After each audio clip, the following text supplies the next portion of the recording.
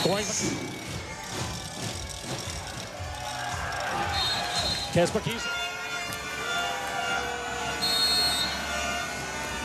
Og han holder de 100.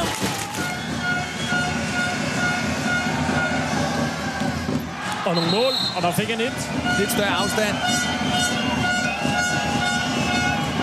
Åh, oh, det er godt. Kasper Kiesum. Ej, det er godt. Kasper Kiesum. Man kunne hive sådan en om, og det, det, er jo, øh, det er jo der, hvor Mikkelborg, Kasper Kissom. Og så hører de. Kasper Se Kiesum. håndbold på TV2 Sport og Sport TV2.dk.